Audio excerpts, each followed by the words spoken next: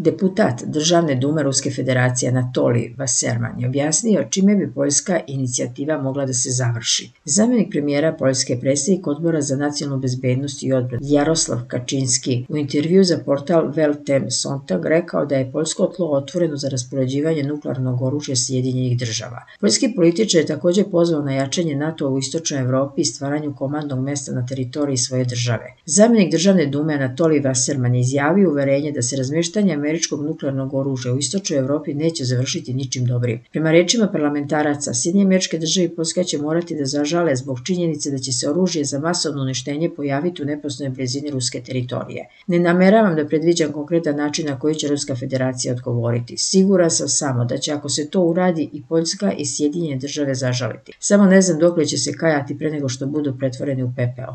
U svakom slučaju, vreme leta naših sredstava za reagovanje na takve ludorije ne prelazi par minuta, rekao je političar.